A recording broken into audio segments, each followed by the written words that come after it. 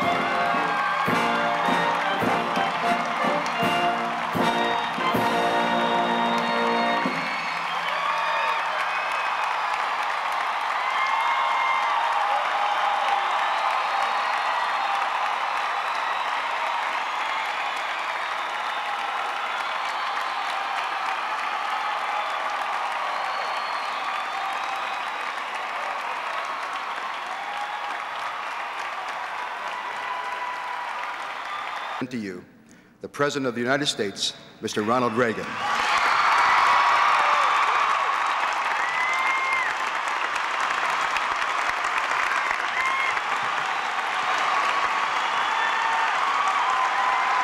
Thank you.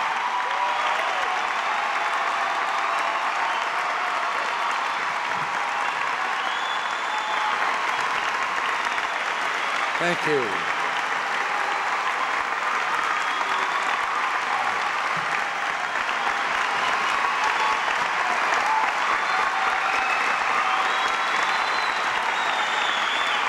Thank you all very much. Thank you. And don't sit down. To begin our time together, I just wonder whether you would all remain standing and join me in the Pledge of Allegiance.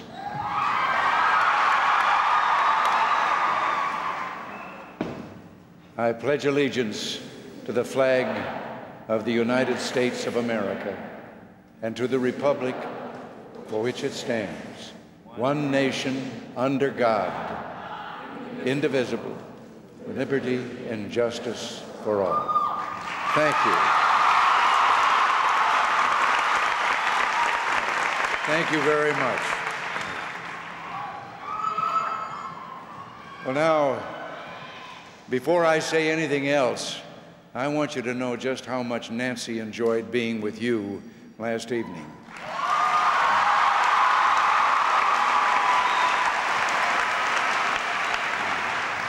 She's put her heart into the battle against drug abuse, and, well, it just plain did her good to see so many young people who are joining her in that crucial fight.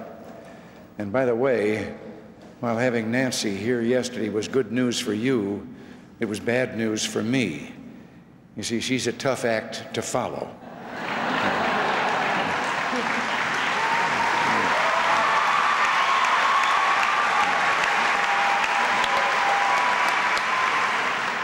But to all of you participating in this 1988 Student Congress on Evangelism, it's an honor to be with you. I know you come from all over America, some even from as far away as Alaska, and from a number of foreign countries as well. So, so let me say welcome to Washington, and I hope you don't mind the heat. But since I'm talking to a church going audience, this heat reminds me of a story that took place back in my hometown of Dixon, Illinois.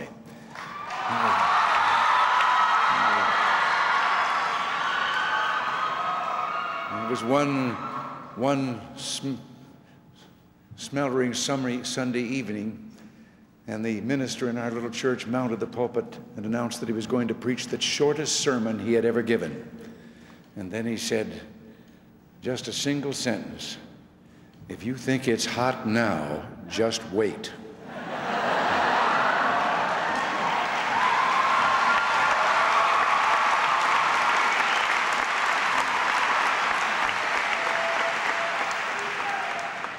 Well, I'm not going to preach a sermon. I thought instead I'd simply share a few thoughts with you on a subject I've had the opportunity to think about quite a bit during the years I've held this office the subject of moral and religious values in our public life. And first, I'd like to spend a moment or two looking at the history of religion in our public life, and then I'd like to speak about the challenge before us today. Whenever I consider the history of this nation, I'm struck by how deeply imbued with faith the American people were, even from the very first. Many of the first settlers came for the express purpose of worshiping in freedom. Historian Samuel Morison wrote of one such group Doubting nothing and fearing no man, they undertook all to set all crooked ways straight and create a new heaven and a new earth. If they were not permitted to do that in England, they would find some other place to establish their city of God. Well, that place was this broad and open land we call America. The, uh,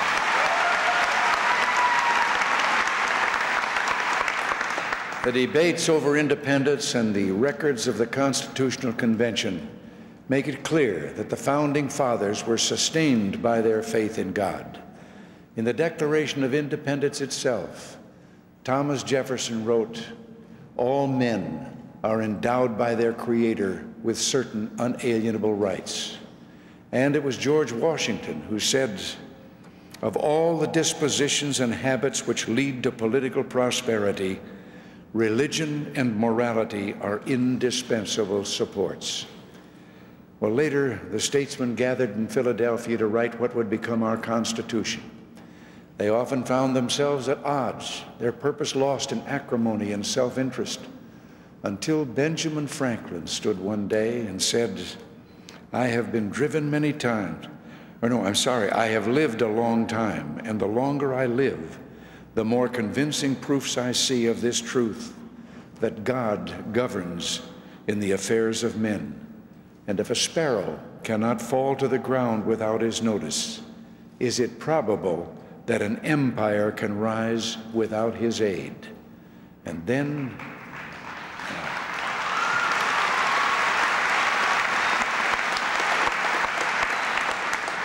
And then he called that constitutional convention to open each day with prayer, which it did.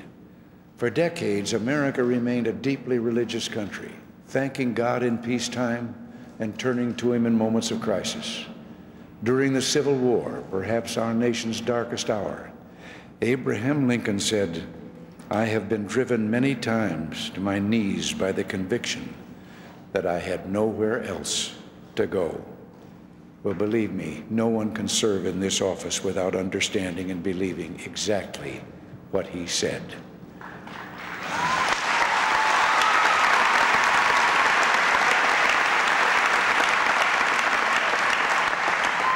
During, during World War II, I remember a rally to promote war bonds that was held at Madison Square Garden in New York.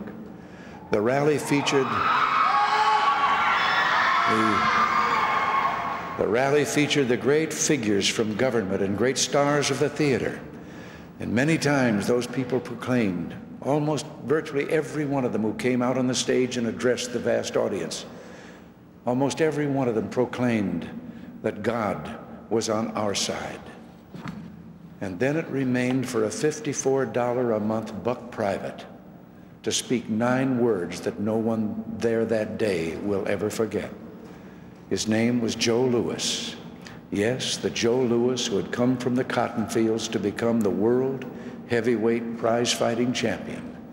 And now, this $54 a month private walked out to center stage after all those other celebrities that had been there. And he said, I know we'll win because we're on God's side.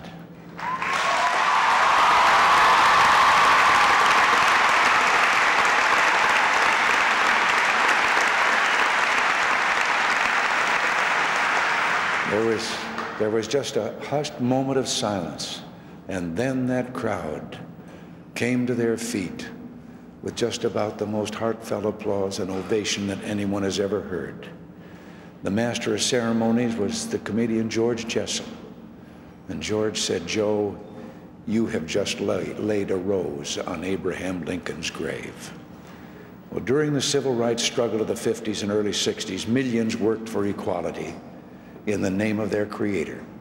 Civil rights leaders like Dr. Martin Luther King based all their efforts on the truth that black or white, each of us is a child of God, and they stirred our nation to the very depths of its soul. And so it's been And so it has been through most of our history. All our material wealth and all our influence have been built on our faith in God and the bedrock values that follow from that faith. The great French philosopher visited our country, Alexis de Tocqueville, 150 years ago. He wanted to see if he could find the secret of our greatness already as a young country. And then he observed that America is great because America is good. And if she ever ceases to be good, she will cease to be great.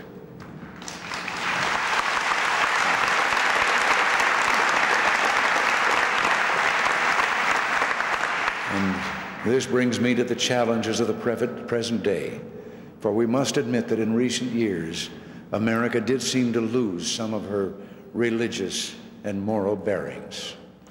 We saw the signs all around us. Years ago, pornography, while available, was mostly sold under the counter. By the mid 70s, it was available virtually on every magazine rack in every drugstore or shop in the land.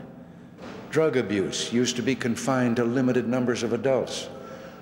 During the 60s and 70s, it spread through the nation like a fever, affecting children as well as adults and involving drugs that were once unheard of, drugs like LSD and PCP. But perhaps most important, the American family used to be the unquestioned basic building block of our society. And then families too often found themselves under pressure from government, taxation, welfare policies that were spinning out of control, and social mores that were being undermined.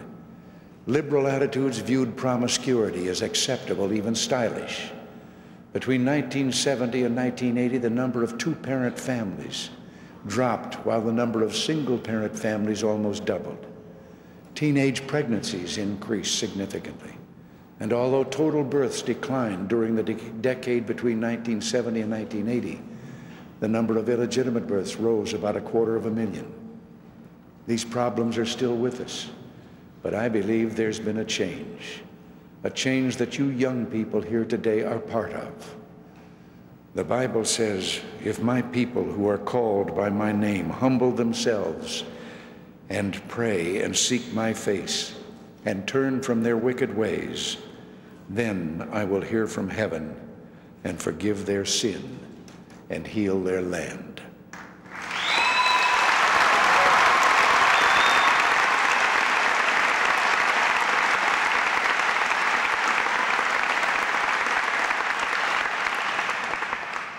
Many, many years ago, my mother had underlined that particular passage in the Bible.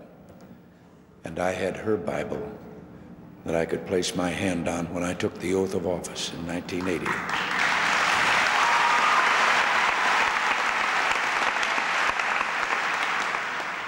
And I had it opened to that passage that she had underlined. Today, more and more Americans are seeking his face, and yes, he has begun to heal our land.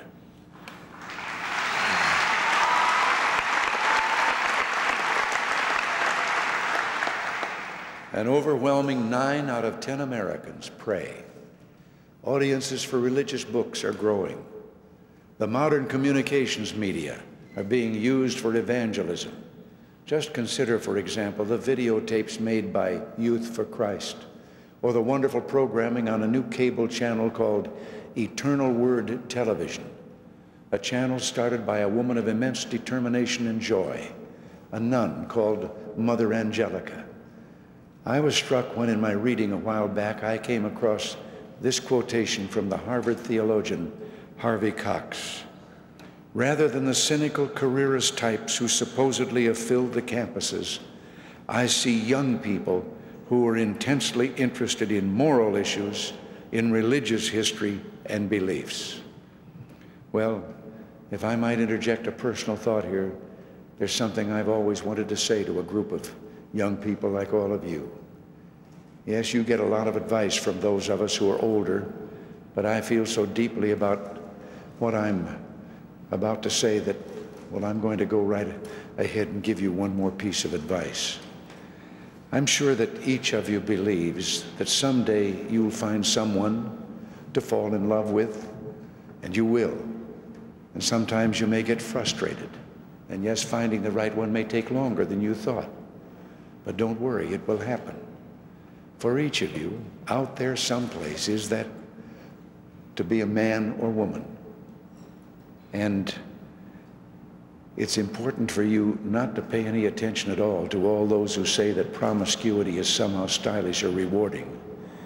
You know that when you meet that person and meet them in marriage, that you will be true to each other. Well, if you ever stop to think? You can start being true to that one special person beginning now.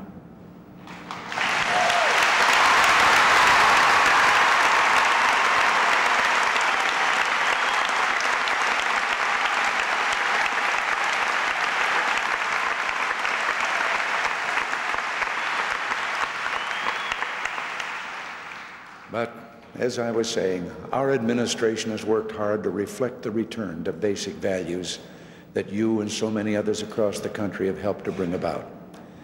Our administration has worked hard to reflect this return to basic values. In the courts, our administration has fought to defend America's cherished religious liberties, always opposing those who would promote government hostility to religion. To this day, it astonishes me that some would so misread the Constitution as to claim that it forbids us from displaying in public symbols of God's promise to mankind or prevents us from mentioning his name in the Pledge of Allegiance in our schools. We won a major victory in the Supreme Court this year that you might not have heard about, the Kendrick decision. In this case, Congress had included religious groups in its program of counseling young people in order to prevent teen pregnancies. This only makes sense, since in so many other ways, churches are better at reaching young people than government could ever be. Some challenged this program, but I'm happy to say the Supreme Court rejected that challenge. On another front, our administration has enacted laws making it tougher, much tougher, for criminals to do business in what is perhaps the lowest form of human exploitation, child pornography. And we're working to do still more. Indeed, last year, we submitted to Congress a major piece of anti-pornography legislation, the Child Protection and Obscenity Enforcement Act of 1987. We submitted that legislation to Congress for its immediate consideration and enactment.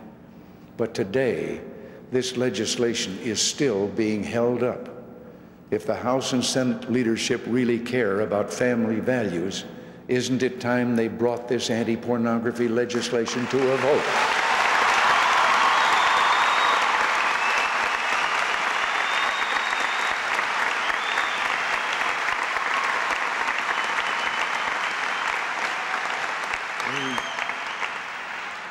We enacted the Equal Access Act of 1984 giving voluntary religious groups the right to meet after school on the same basis as other groups.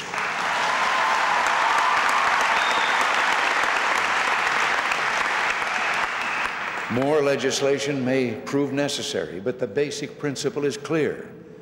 I just have to believe, and I'm sure you agree, that if a math group or a chess club can meet after school, then so can a prayer group.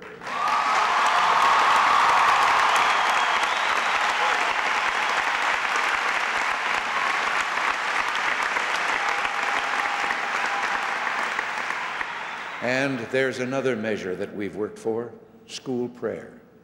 So far, we haven't succeeded in persuading the Congress to enact legislation that would once again permit voluntary prayer in America's schools. But I'm convinced that one day soon, such a measure will be passed. If Benjamin Franklin rose to invoke the Almighty as the Constitution itself was being drafted, if the Congress of the United States opens each day with prayer, then isn't it time we let God back into the classroom?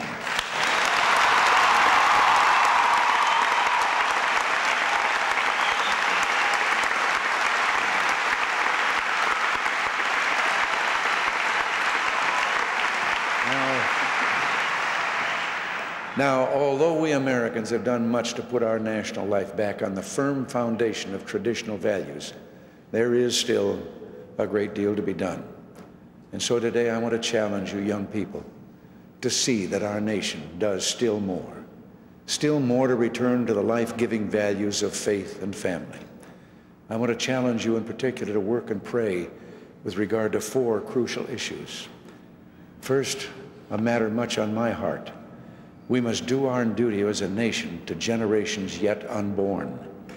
We cannot proclaim the noble ideal that human life is sacred and then turn our backs on the taking of some 4,000 unborn children's lives every day. This must stop.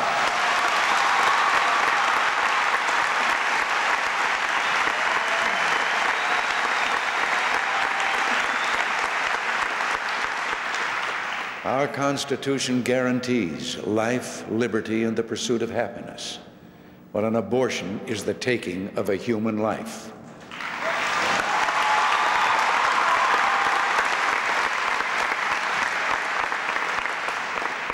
Many who seek abortions do so in harrowing circumstances. And just as tolerance means accepting that many in good faith hold views different from our own, it also means that no man or woman should sit in judgment on another. I believe, and Vice President Bush believes with me, that we must rise above bitterness and reproach to find positive answers to the tragedy of abortion. And by the way, I was impressed and moved to learn that one young woman here today has done just that. Carolyn Deming, who became involved with campus life as a young person, has begun a home for unwed mothers who knows how many unborn children's lives Carolyn and others like her have saved, using love and imagination to save lives, my friends.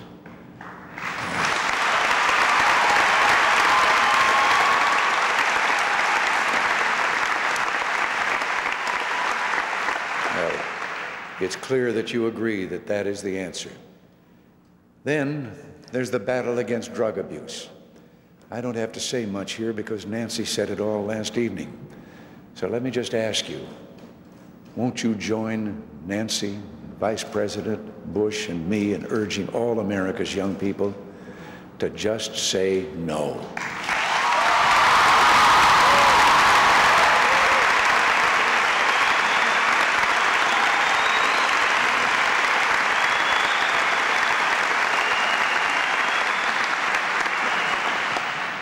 Then there's an issue you're not too young to begin thinking about, even now, a restoration of the American family. When we obey the commandment, honor thy father and mother, we're recognizing all the sacrifices our parents made to raise us, but we're also honoring the institution our parents entered into and carried on, the institution of marriage and the family itself. The family provides children with a haven of love and concern. For parents, it provides a sense of purpose and meaning in life. When the family is strong, the nation is strong. When the family is weak, the nation itself is at risk. There's one specific issue that's important to mention here, an issue being discussed in the current presidential campaign, child care. Vice President Bush has proposed an innovative plan, one that would strengthen the family for poor and working families. The Vice President's plan would provide a refundable tax credit of $1,000 per child. Now, the basic idea here is that the government would simply let families keep up to $1,000 more of their own money. That's money the family itself can decide on how to spend. Working mothers could put the money toward child care. But by giving each family this tax credit, the Vice President's plan would also permit thousands of mothers to choose to stay home with their children.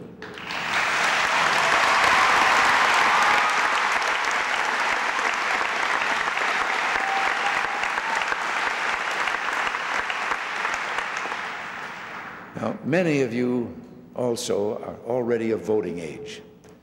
And so, in the name of the family itself, I urge you to join me in doing your part in local, state, and national politics.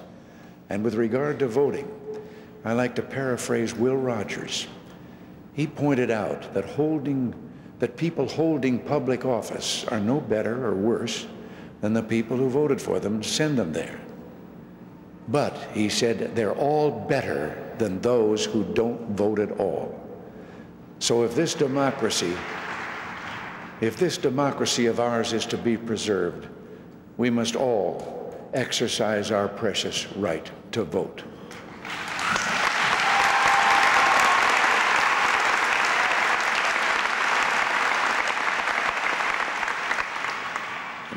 Finally, in this age when electronics beam messages around the globe in a few seconds, we must work to separate half-truths from the whole truth, including the truth about the difference between free and totalitarian societies. Today, there are profound changes underway in the communist world. My trip to Moscow convinced me of that. And of all the changes underway, perhaps none holds more hope for the future than Mr. Gorbachev's statements that the Soviet Union would soon grant its believers in certain new freedoms.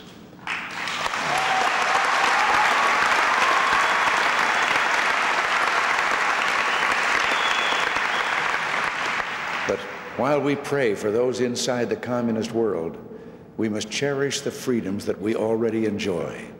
Cherish a nation founded in freedom. Just think of those words we recited a few moments ago.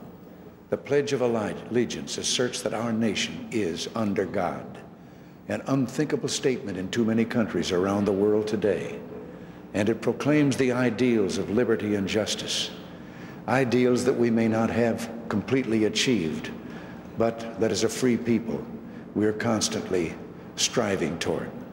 If I could interject here something you know, I know in our land of freedom, everyone, if they want to choose atheism instead of a belief in God, they, that's their right to do so. But I have always felt that I would like someday to entertain an atheist at dinner and serve the most gourmet, perfect dinner that has ever been served. And then at the end of the meal, ask that atheist if he believes there's a cook.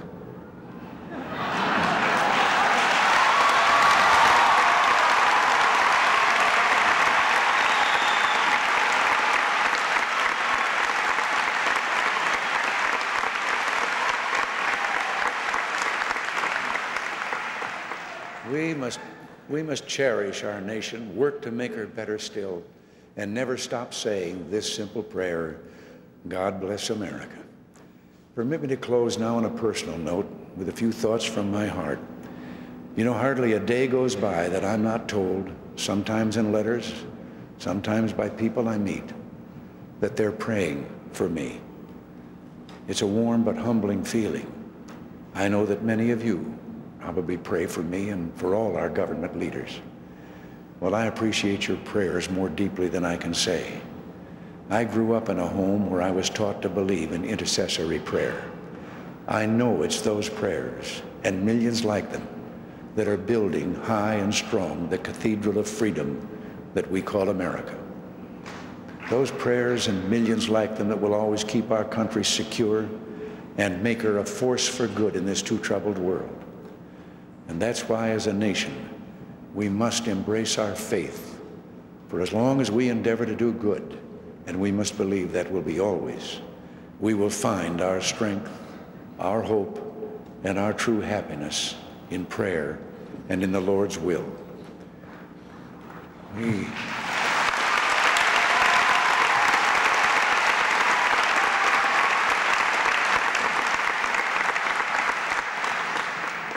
I'd like to tell you a story that is related by Dr. Paul Brand, the noted leprosy specialist.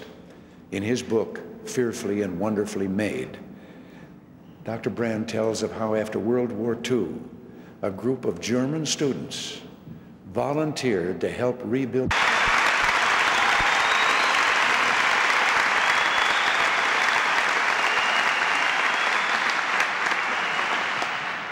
Then there's an issue you're not too young to begin thinking about, even now a restoration of the American family. When we obey the commandment, honor thy father and mother, we're recognizing all the sacrifices our parents made to raise us, but we're also honoring the institution our parents entered into and carried on, the institution of marriage and the family itself. The family provides children with a haven of love and concern. For parents, it provides a sense of purpose and meaning in life. When the family is strong, the nation is strong. When the family is weak, the nation itself is at risk. There's one specific issue that's important to mention here, an issue being discussed in the current presidential campaign, child care. Vice President Bush has proposed an innovative plan, one that would strengthen the family for poor and working families. The Vice President's plan would provide a refundable tax credit of $1,000 per child. Now, the basic idea here is that the government would simply let families keep up to $1,000 more of their own money. That's money the family itself can decide on how to spend. Working mothers could put the money toward child care. But by giving each family this tax credit, the Vice President's plan would also permit thousands of mothers to choose to stay home with their children.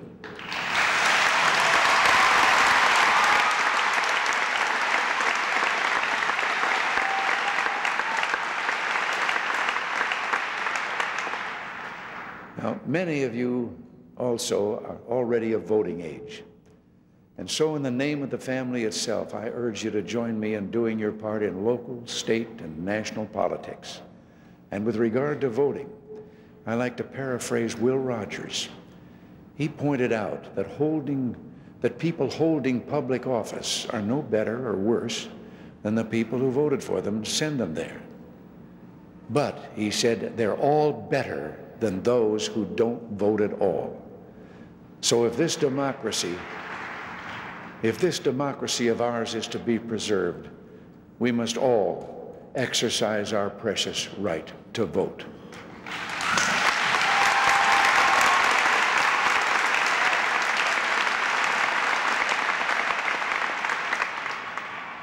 Finally, in this age when electronics beam messages around the globe in a few seconds, we must work to separate half-truths from the whole truth, including the truth about the difference between free and totalitarian societies.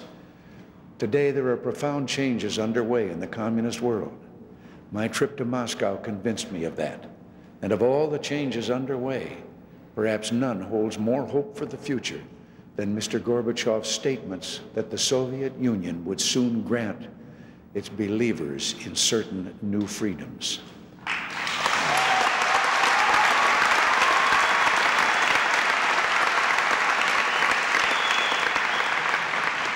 But while we pray for those inside the communist world, we must cherish the freedoms that we already enjoy. Cherish a nation founded in freedom. Just think of those words we recited a few moments ago. The Pledge of Allegiance asserts that our nation is under God, an unthinkable statement in too many countries around the world today. And it proclaims the ideals of liberty and justice, ideals that we may not have completely achieved, but that as a free people, we are constantly striving toward. If I could interject here something, you know, I know in our land of freedom, everyone, if they want to choose atheism instead of a belief in God, that's their right to do so. But I have always felt that I would like someday to entertain an atheist at dinner and serve the most gourmet, perfect dinner that has ever been served. And then at the end of the meal, ask that atheist if he believes there's a cook.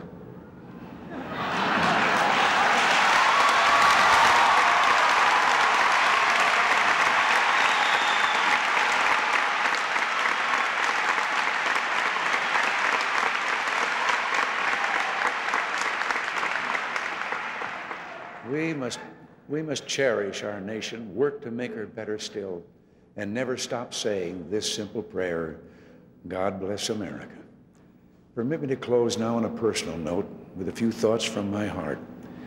You know, hardly a day goes by that I'm not told, sometimes in letters, sometimes by people I meet, that they're praying for me.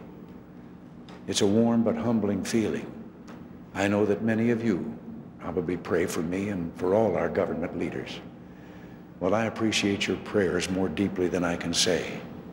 I grew up in a home where I was taught to believe in intercessory prayer. I know it's those prayers and millions like them that are building high and strong the cathedral of freedom that we call America. Those prayers and millions like them that will always keep our country secure and make her a force for good in this too troubled world. And that's why, as a nation, we must embrace our faith. For as long as we endeavor to do good, and we must believe that will be always, we will find our strength, our hope, and our true happiness in prayer and in the Lord's will. We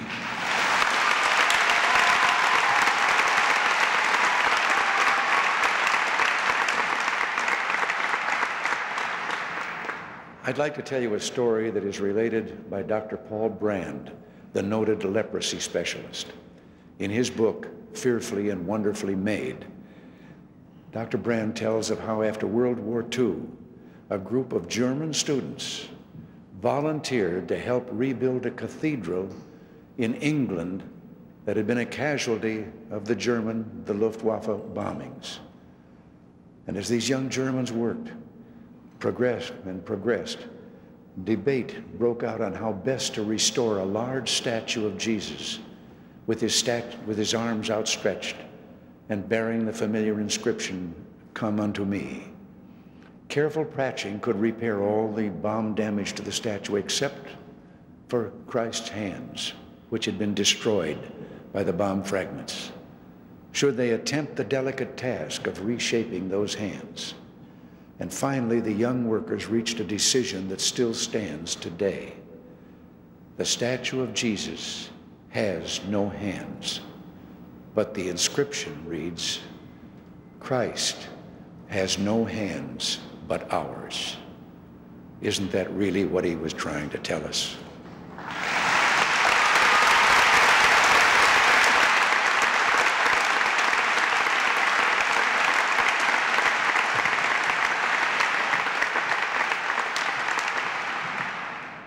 Thank you all, and God bless you all.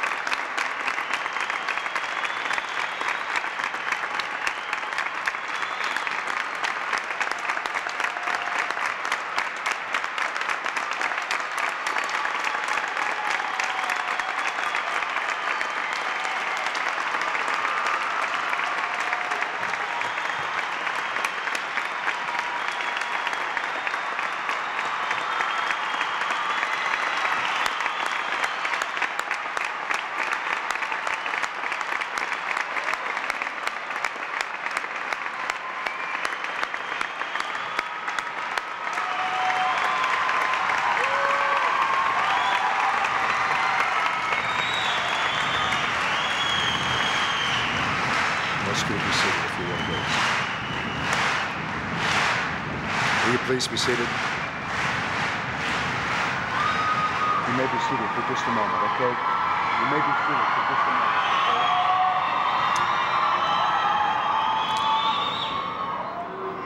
On behalf of us as delegates at this Congress, on behalf of the Ministry of Youth for Christ, Mr. President, we thank you for coming to share with us and opening your heart and challenging us. And I'm going to ask each of us today to participate as we've been challenged to do by our President, to pray for those in the area of serious consideration, the whole concept of abortion, to pray for those who are really struggling in the whole area of the drug culture. To pray that somehow, even that our families, our personal families that we represent here, and families beyond across this nation, will be affected in this whole campaign of the restoration of the family. And then that we will pray for those of our brothers and sisters all across this world who are not fortunate enough to live in the freedom of the society of America that you and I live in. I'm going to ask you to make that commitment today as a Congress of leadership people, not only for the evangelism of your peers, but to pray for these very critical issues that are in our nation. And we've asked one of your peers, the name of Heidi Kaiser, in just a moment to come and lead us in prayer and to specifically pray for our president as he continues to give tremendous leadership to our country and literally to our world.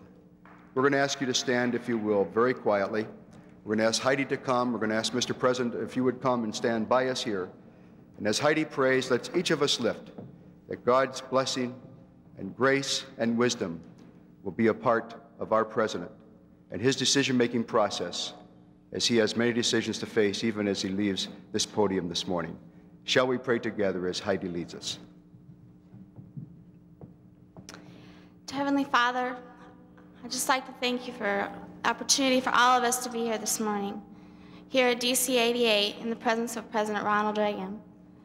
I'd also like to thank you that you play such a big part in our government today, along with President Reagan. And Lord, I just pray that you'll just give him wisdom, leadership, not only in our country, but all others as well. I'd like to pray today that you may all be challenged, all my fellow delegates may be challenged to realize that we too can make an impact on and go back on our campus and make a difference. Thank you, Lord. Thank you. In Jesus' name, amen.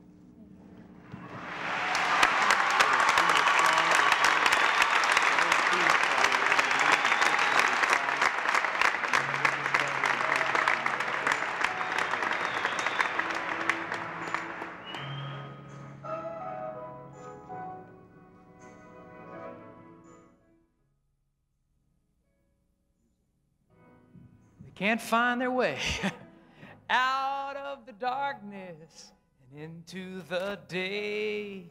But to we who are called by his glorious light must shine like a beacon of love. In the night, we will carry the torch, we will lift high the flame we will march through the darkness in the light of his name till the glory of God is seen by the world. We will carry the torch of the Lord.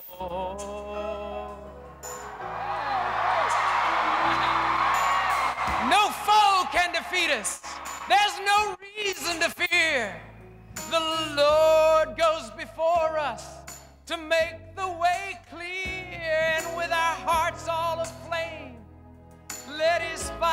be spread to bring light to our nation and life to the dead. We will carry the torch. We will lift high the flame. We will march through the darkness with the light of